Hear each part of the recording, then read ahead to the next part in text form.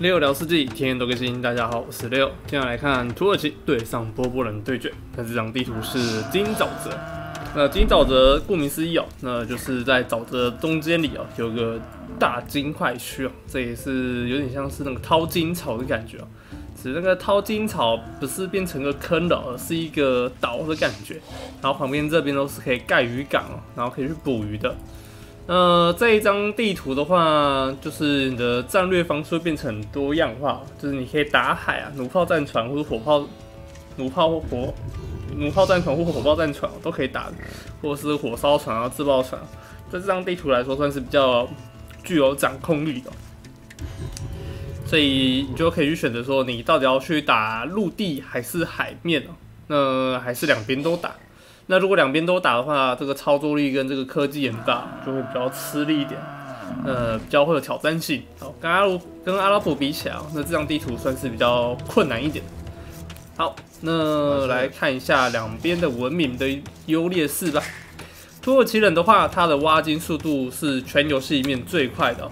那取而代之，它是没有唯一游戏里面没有乐色兵的一个文明哦，就是这个长枪兵不能升级。啊，还有这个毛兵也不能升级，那只能升级的话就是只有肉马，那这个肉马也是免费升级的，所以土耳其人虽然没有热色兵，但是他在肉马这个支线上是升级最快的一个文明了。那远防来说，肉马的远防也是这游戏最硬的一个单位了，所以基本上土耳其只要没有金了，就是宣告死亡了，就是一个文明，他没办法完全没法靠热色兵打后期的一个。文明，所以要尽可能的去抢到中间这块金矿区，或者是把大量的遗迹给先拿起来，那才会比较有个优势在。好，那稍微讲一下这张地图的一个开局方式哦。比较标准的话，要把这张图当成海图来打，那木头最好是补到五个，然后赶快去盖这个渔港。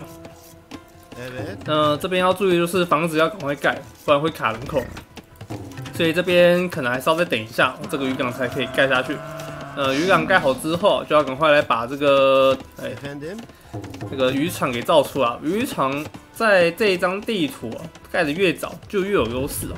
因为这个金枪鱼群给的肉还算不错的，呃，基本上可以把它当成一个海图来打。但是它的量其实也是不多的，啊，如果要出渔船的话，可能也出个四到五兆就是极限了。再多上去的话，可能会有点负成长，这个肉量的获取量，啊。或者是直接弃海也可以啊，那就是纯属看个人打法。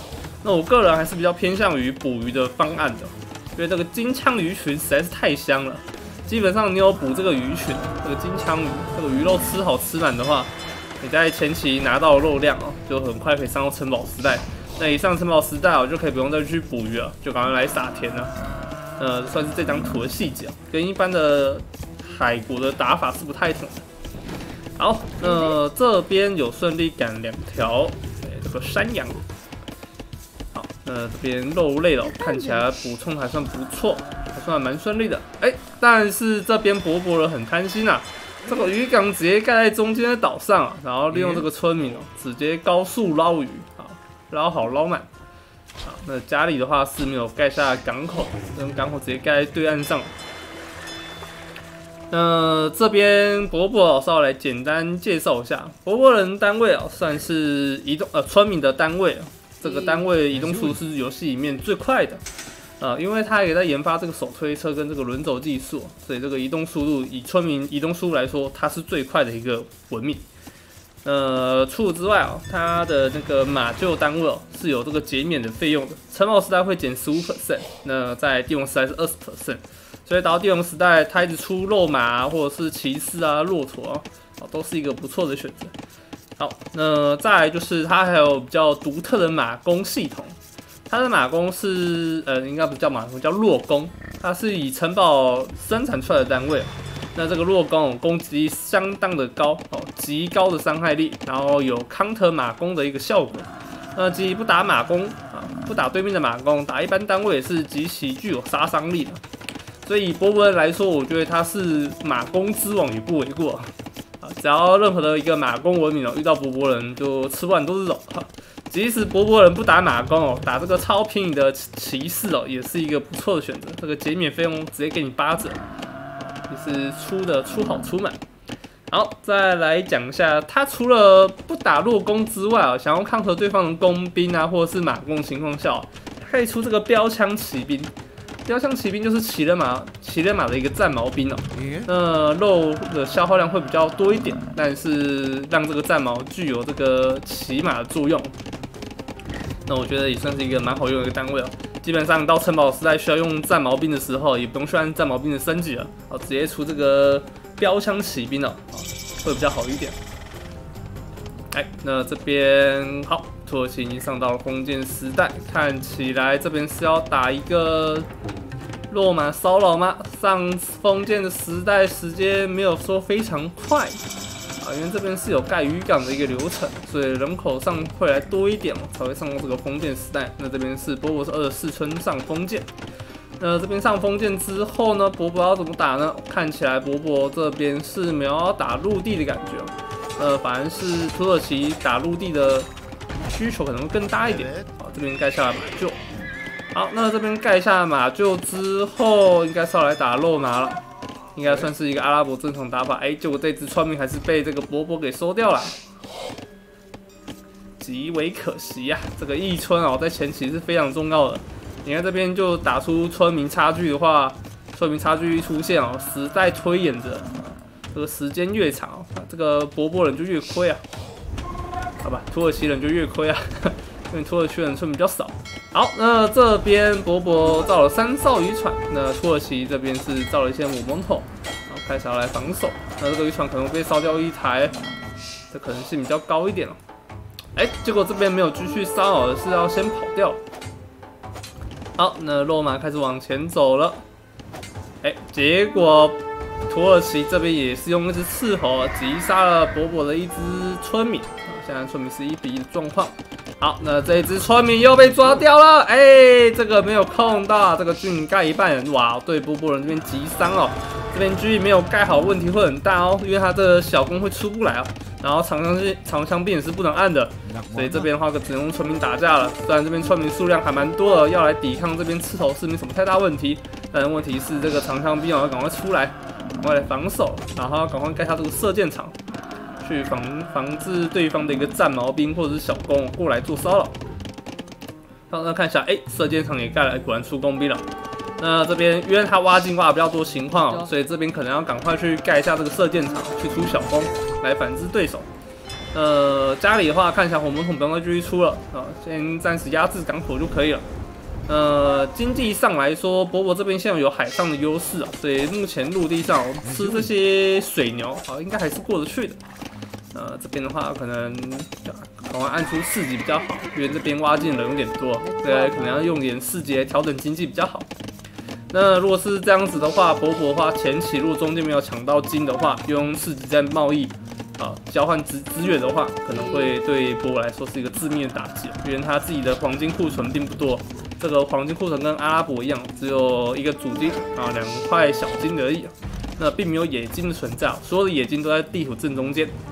所以伯伯现在有两个选择，一个是个树，一个树上层，然后赶快到城堡时代占据中间这个金矿位置。但是目前看起来不太可能啊，因为这边已经被对方土耳其这边十足骚扰到了。那这个建堂也让这一块墓区不能挖。然后这边又投资了一块瞭望塔去做一个防守，所以这边已经造了非常多的单位哦，跟这个建筑物哦。所以导致他这边上城堡实在是比较不可能的一件事情，要那么速上城不太可能，呃，所以要可能还是要等一段时间，伯伯才有可能打出去。那在那之前，土耳其可能会先先上城堡时代，感觉目前看起来是有可能的。虽然土耳其丢失了海域哦，那伯伯这边可以爽快吃鱼，但你刚刚有说到这张地图的鱼其实没那么多的。啊，你再怎么吃啊，也就那几坨鱼而已啊，吃完就 say goodbye 了啊，顶顶多只能让你撑到城堡时代而已。那如果中间开战的话，那么这个鱼的效果，那么效率就会慢慢减弱，算是土耳其的一个补正方式哦。既然海上打输了，那我们就打陆地啊。那陆地有骚扰到的话，就可以拖延这个海给的威力哦。好，那这边土耳其点下一级射，点下了一级射之后要怎么打呢？这边赶快补下四级，哎，把这个洞补起来。但是有小攻很大量哦，这个战矛兵没有一级射，但是有在补这个战矛。那补战矛的话，要赶快把这个小攻给收掉。那自己的村民可能会在十一村吗？哎呀，这里有一只，哎呦，好险好险，还有要被砍死了这个战这个战矛。那这个毛兵在这个时候效果并没有那么好用，那已经还到处，因为基本上落马一过来，这个战矛就已经要撤退了，变成这个战矛出空间比较少，但是相对的土耳其的操控操控的负担也是比较大一点，而且这里这一只塔盖起来的话，嗯，这个塔可能要赶快想办法去赶快立起来。那这边是稍微买卖了一下了伯伯，伯伯最终还是要靠买卖。去做一个经济上的交换，呃，这边看起来是有埋石头，呃，埋一百石头，然后再去插一根箭塔，来反制对方这根箭塔，不然这根箭塔在这边着实会受不了，毕竟这个里有锁到他的大金了，这个大金被锁很痛苦。哎，这里有一存遗漏在外面，哎呀，走了出去，看来这一存是没了。哎，走进去能可以吗？哦，没有，直接硬砍。但是小攻小攻有机会吗？没机会，哎，声音滴血。好，那看起来波波人家里这一波进攻哦，让土耳其应该是可以顺利的这个进攻给解掉。但是这村给我被杀掉了，哎呀，这一村怎么在这里跑来跑去的？这个太多人在一个地方挖木头，就会这样子啊，村民到处乱窜，然后导致自己的村民哦进入敌人射程范围内。好。那看起来土耳其家里也是蛮惨的，并没有一个太多的经济状况。看来土耳其这边上城堡是用买卖的方式哦，直接买上城的。哎，看一下，这好像有卖有有四级队，这边大量挖金哦，只能靠这个方法上城堡了。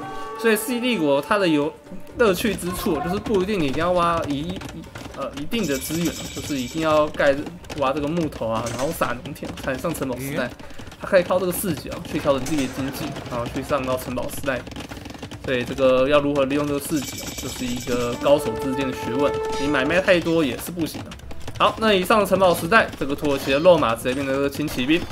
因为这个游戏里面土耳其是可以自动升级肉马的。这肉马一升级之后，看到效果还是不错的。还有七攻伤害，但是遇到骑士就不好说了。骑士本身十攻。那骑士一过来，直接硬吃掉这些工兵。那这边只精确两村在里面。那这边波波出了骑士之后，土耳其出骆驼要来反制。啊，骆驼来反制骑兵效果是不错，但是如果骑士的数量太少，会被骆驼吃的死死的。啊，那这里还有一只小弓在这边乱走。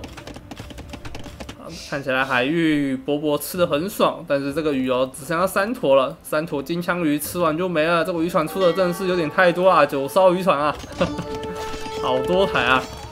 呃，待会这些渔船啊，如果要放那个渔网的话，也要消耗木头。呃，没有木头情况下，这么多渔船就会闲置哦，就没有就会失去它的意义在。好，那看起来骆驼这边伯伯也在出了。那如果以骆驼单纯对战来说的话，伯伯可能会稍微有点优势，因为伯伯的骆驼是有这个减免的效果，十五胜效果。那这边如果再继续打下去，一直出骆驼的话，我觉得对土耳其可能是不太好的一件事情因为毕竟这个骆驼土耳其来说并没有太多的加成，只有这个。马弓哦，有这个异彩骑兵的效果，加血量二十 percent，不是二十 percent，二十滴血。那骆驼本身呢是没有一个太大的一个加成效果在，所以这边可能土耳其人要想办法去挤出他的土耳其火枪兵，好来反制敌方骑兵哦。哦，骆驼啊，或者是骑兵单位会比较好一点。那我觉得骆驼只是暂时哦，让土耳其人抵抗对方的一个进攻方式。好，那骆驼现在遭到了狮子在前线，那这一块金也被锁住了啊，但是还不错，这个右边抢了回来。那这块区域的话，要找个时间把这块箭塔给解掉，不然这个牧区不能踩也是蛮痛苦的。因为你的中间这一块牧区不能踩的话，村民是要到外围嘛，那到外围的话就很可能被骚扰到，被人家插箭塔、城堡之类的，都是蛮痛苦的。好，那这边土耳其人在敌人家的下方哦，直接造僧侣开始来招降这个火猛桶。那这边就要来看一下波波要怎么反制对手了吧？但是波波这边也是有造僧侣哦。那僧侣的话是优先把自己的残血的骑士啊，把前面给拉了起来。呃，在前线来补下一些骑士，要来做一个进攻骚扰。那看下这一波能不能再杀到一些村民呢？伯伯目前村民数四十八村，打四四村土耳其。那这边骆驼跟骑士一进来，马上被土耳其人看到了。但是这边前线作战，这边直接被招了一个骆驼跟骑士，看来两只单要被招走了，哇，很亏，但是没有关系，这边伯伯也有僧侣，那僧侣没有招到，还只能撤退，哇，现在这边土耳其这一波交战来说大赚呐，招了一只骑士跟骆驼，实在是不亏啊。好，那这边由于在操控刚刚前线的关系哦，家里这些单位哦并没有控制的太好，基本上是送光了。那送光的话，那前线这一波开战就是相当重要了。哎，结果这一招这里还被招走了一艘渔船啊，不是渔船，这个火猛桶。好，那这边哎要来直接砍渔船了。哇，这个渔船管数太多了，被抓掉了。好，赶快跑，赶快跑！渔船还是不要送哦，只要能活下来的话，这个渔船啊还是可以做到一些经济补正的效果。好，那开始土耳其并没有想要正面硬刚，而是要来确保中间这块黄金地了吗？喂，这个石头量看起来是够插城堡了。那反倒是波波这边啊，完全没有挖石头。那你第大家会有人会说，哎，为什么波波都不挖石头？啊其实有些玩家不挖石头，主要是会怕伤到自己的经济哦。因为本身挖石头这件事情是会伤到自己的经济的。就是木头啊、黄金量啊，跟食物量获取量会少一点。那石头本身的经济是完全是零产出的，是没办法用石头来滚其他资源的。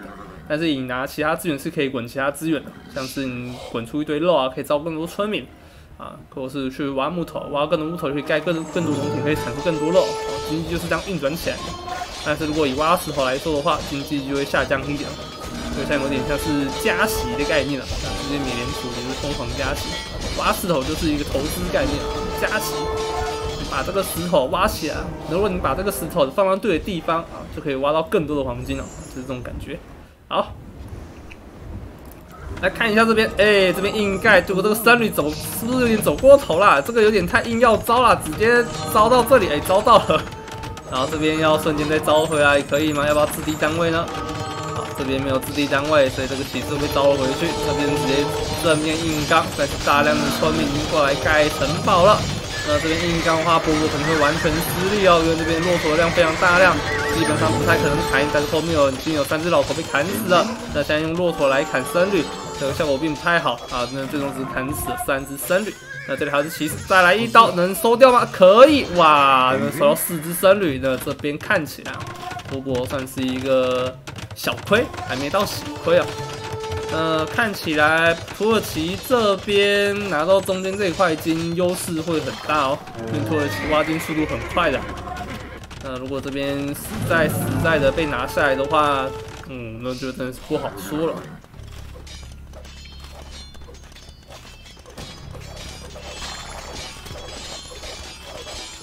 那土耳其这边马上传出了土耳其火枪兵。呃，家里的部分看起来波波是要来大爆容了，那个经济可能快有点崩塌了。这边要两 TC，要补下第三个 TC 嘛，但是还没有补下这个手推车，经济非常的缺紧，因为刚刚造了太多这个骆驼跟骑士哦，这个肉量消耗实在太大了。那主要来看一下，可不可以用这些马厩单位哦去做一波骚扰，然后再换取一些经济上的平衡。不然土耳其这边挖金实在挖太凶了，可以用买卖啊去来补增自己的经济。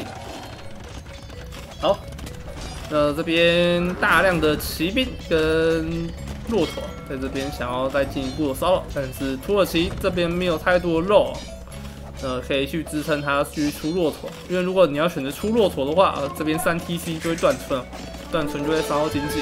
所以世纪帝国一直在经济跟军事上做平衡，是一件蛮重要的事情。好，那这边土耳其火枪兵出来了，攻击力有十七，五，这个击伤很高啊。好，土耳其火枪兵直接开枪爆射一波，看能不能射到更多一点单位。用用，起来还是僧侣比较实际一点，僧侣直接招降就可以直接招到一个骑士单位，还是比较香的。毕竟你火枪兵出来还是要一枪枪射才射得死，僧侣还是最快的。但是大量来说的话，僧侣就有点困难了，因为毕竟僧侣的手速要很快。哎，但是这边手速看起来是够了，直接招四只骆驼。哎，没问题，没问题，直接招吧。哎，但是细节来了。波波这边开始造了一些自爆法，要来来爆对方单位了。看起来这边正面互打的结果是伯伯拿下了小许的优势。看来这边伯伯没有开三 TC 是正确的，把省下来的肉拿去做正面交换。这边再炸了一波，哇！这个一出来，火枪兵瞬间应声倒地。哇！这边再造一造一串。哇！看起来伯伯这一战哦打的还算不错，但是也没有到非常优势哦，只能算是五五开而已。因为毕竟土耳其真正的这个掌控大权，金矿还是在土耳其这里的。波波只能打出一波不错的会战，而且这边还没有开出三 TC 啊。没有开出三 TC 的情况下，可能会更难打哦。毕竟人家土耳其都三 TC，在让自己的禁区运转起来了，但是反倒是波波啊，把这个军费哦开销更大了一点，让自己有点难硬撑起来自己自身家的经济哦。这个情况有点像是什么？嗯。个南韩跟北韩啊，呃，伯伯是重军事哦，南坎就是土耳其哦，重这个经济，有种这种感觉。所以这个重经济跟哎，这个自爆发，哎呀，这个不错。当然看起来这个自爆的阿拉花瓜能力还算是不错的，直接炸烂了一波。哎，后面后面后面后面骆驼，后面后骆驼有危险。哎，这个骆驼能不能卡位卡住拯救僧侣？可以，哎呀，这个僧侣活下来了。呃，让不过这一波又赚了一波，但是土耳其的火枪兵数量越多的话，就危险。哎呀，打到了！这个火枪兵是射的很快的，他射了那么多枪才烧一发，但是还是打中了啊，这个打中就好。好，那不过的话，接下来就要开始考虑出这个工程机制造所，要开始把下面这波解决掉，不然这个石头啊、黄金都不能挖，对波波来说是蛮伤的一件事情。那等一下可能要赶快去把这个 TC 开出来啊。那目前波波因为由于家里的状况有点难开 TC 啊，本来 TC 可以开这个位置啊，那这边有箭塔，所以现在开 TC 村民会有点危险，不然就是把这个村民哦到 TC 开这个位置也是可以的。那这边也是也被这个箭塔给骚扰住了，所以土耳其哦这两个箭塔也算是起到蛮关键性的一个标标的性的一个经济位置。所以我觉得这个应该是有相当的一个思考过去查这个箭塔。好，那这边土耳其造了大量的骆驼跟火枪兵，但是没有在家里防守。那波波利用这个骑兵的机动优越性哦，如果是我的话，我就会冲进去砍一波了。但是我们是上帝视角，并不知道里面是完全没有任何防备的，大量存在里面，而且骆驼数量其实很少。但是右边这边盖城堡被波波人这边抓包了。大量的波波骑兵在这里想要反击，好反击一下，反击一下，但是正面的正面这边也是。哦，有出一些骆驼，那火枪兵在上面想要来回手，呃，正面看起来波波好像越来越有优势的感觉，呃，这边火枪兵一过来，直接起火开射，全部炮枪一发都没射到，哎呦，这里有射到了，OK，射到一只盘血，这个千万本炮枪啊，再炮枪下去，土耳其会很伤哦。好，但是土耳其还是在继续大开枪，但是骑兵的优势就是可以来击垮这些。哎呀，自爆法又来炸了。一波，哎呀，直接炸光光，土耳其火枪兵都被这个贝斯自爆法给炸烂了，看起来实在是有够亏。伯伯这边强军事的效果看起来似乎不错，慢慢把优势打了。回来。火枪兵大量的倒在自爆法的一个状况下。那这边波波要补下更多的一个骑士吗？那对方土耳其开始转出马弓了。呃，土耳其的马弓是全游戏里面的马弓血量最多的文明，所以土耳其打马弓也是 OK 的。但是打马弓也是需要大量黄金。那土耳其能支撑住这个大量马弓的开销吗？因为家里的状况有点没法先出马弓了，因为像出马弓的话，量没法成型，就是个问题哦。问题是要赶快成型哦，这个不成型的话，这个大量骑士一进来，还是无可奈何的一件事情。那大量的骑士没有要去继续进攻了，而是反之回头了。那这边城堡也顺利的阻止土耳其这边盖下。那这个冲刺哦，也算是做到事情。那通常看到这里哦，波波这边应该是没有想要直接速地王，而是要赶快用这个强军事哦，去博取更多的一个经济优势战。那这边更大的经济优势就要看波波这边要怎么进攻了。呃，土耳其这边要想办法赶快挤出这个大量马弓了。那大量马弓的话，投资成本也是很高的，要赶快再补下这个大血，不然这个马弓龙一直炮攻也是个问题。看起来火枪兵这边能挡得住吗？看起来有点困难。大量的村民在盖城堡，这种盖好了，好直接收村，把村民收进去。啊，来反制伯伯的一个骑兵单位。但是大量的部队已经从后面过来了，伯沃的骑兵的量级不多，这边来直接硬挖黄金，直接挖在你眼皮下。这个伯伯也是蛮偷的。好，自刀法再过来炸一下。好，自刀法还是再继续出，没错，这个阿招式比较好一点。是越毒越香哦！好，再来炸一波，这波自爆法能不能再炸到呢？看起来三台冲车都已经被拆光光了。自爆法的话要来炸的话，现在最好时机，要不要来炸个骆驼啊，还是要炸个马弓啊？都是可以选择的。那我们来期待这一个自爆法要怎么来炸。好，那又有一些骑兵闹到了土耳其的家里。那波波则是还是双 PC 慢慢运营的，但是村民数并没有拉开非常大的一个距离感觉。土耳其这边防守来说还算是可以哦，并没有太差，算是普普通通，没有特别弱，也没有特别烂，所以这边数量还是有拉起来了。那村民伯伯这边还是用二 TC 慢慢弄，但是央强军事哦，把这个骑兵稳稳地爆了出来。那下面这部分还是没有解决掉，并没有投资太多的一个科技哦，或者是单位哦，在下面做。夺还这一块区域的一个重点，这边还有一些石头哦。伯伯这边可能还是要想办法去把下面拿回来比较好，不然这个经济资源就一直往上扩，一直往上扩就会让自己的村民暴露在风险之中。那这边的话就会有点危险了。对，所以这个下面啊这块区域还是要赶快拿回来，让自己经济可以以往下扩张啊，而不是一直往上啊。一直往上的话，大量马弓火枪兵走进来的时候，这些村民势必还是要逃难的。毕竟自己的自家军力哦，还没有没有办法支撑到非常可以一直用以军养以战养战的一个状况。所以这边的话，还是要赶快把自己的村民往下移比较好。好，呃，大量的村民直接往下搬家。好，自动法出来了，来看看这一波的操作能不能秀到了。哎，直接炸一个僧侣，哎呀，可惜了。好了，换一百金也是可以哦，但是可以的话还是要换大量单位比较好一点。好，那土耳其依旧在中间爽爪挖金，挖金人数来到四十七个人了。哇靠，那中间有多少人在挖？哈哈哈哇靠，这个是掏金草啊！明明是金枣子啊，但是这边感觉活生生打成了掏金草啊！确实，这张地图是掏金草沼泽版。好，那看起来伯伯有点后继无力了吗？单位虽然大量的骆驼直接上来硬掏，呃，这边伯伯已经开始钻机了，黄金数已经归零了。伯伯还能再战十年吗？家里这块金也没有抢回来，这里的金矿也挖不了。那这边要是继续打下去的话，我不确定对土耳其人是不是对伯伯人是不是一件好事哦。这边看起来波波人这边要有点要硬要的感觉啊，这边还在造冲车。太太硬要了，我觉得。啊，这个冲车哦，被大量村民挡住。好，呃，这个冲车看起来也是做不到事情，也要 say goodbye 了。呃，伯伯这边卖了大量的食物去来换取黄金。那木头有点爆多哦，因为太多村民没有在种田，没有地方可以让他安心的种田，所以这个木头一直搁置着。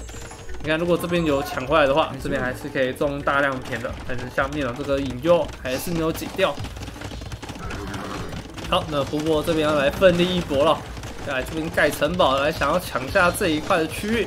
但是家里啊，上面大量村民已经被追赶着了，那就是我们刚刚讲到，村民是往上迁，经济科技就会有问题。这边的这个洞也没有补起来哦。好，那大量村民只能往下迁徙，大量收村，这边一大块农田都不能种田了。但是骆驼这边硬生生跑过来，赶快围起来，围死，围死。哎，围死把它包住了！哎呀，大量马弓直接在 T C 的射程下，然后用骆驼包夹了起来。哦，那看起来这边如果送掉的话，情势可能有逆转喽。但是大量村民在这边直接开战，啊，直接两方村民直接用拳套开始点了起来。但是最终哦，这个城堡还是盖了起来。所以这边盖起来之后，伯伯可能有机会反将一军吗？这边还盖了一个工程机制到手，这个城堡盖了起来，让伯伯人有拿到相当大的优势，能不能奋力一搏呢？